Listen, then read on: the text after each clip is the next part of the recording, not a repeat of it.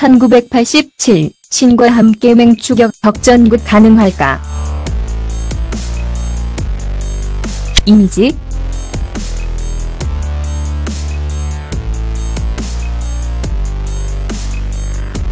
SBS 퍼니 파이프 김지혜 기자 영화 1987이 개봉 2주차에 접어들면서 경쟁작 신과 함께 죄와 벌과의 격차를 좁혔다.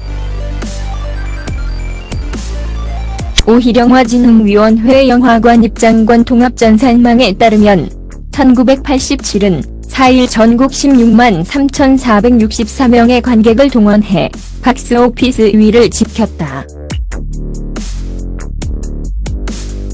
1위는 여전휘 신과 함께 21만 7,048명 다.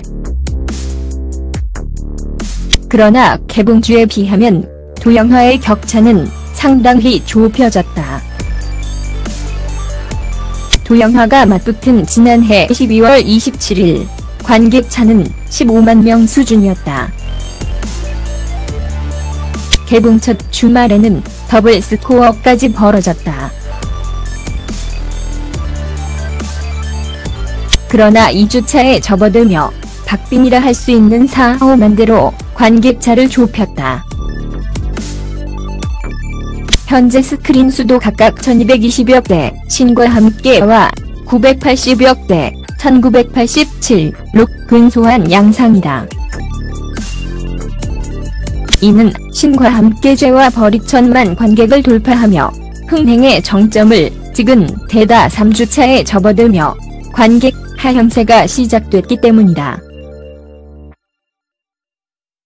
반면 1987은 2주차에 접어들며 관객 입소문이 빛을 발하고 있다. 이 같은 분위기는 예매율에서도 확인할 수 있다.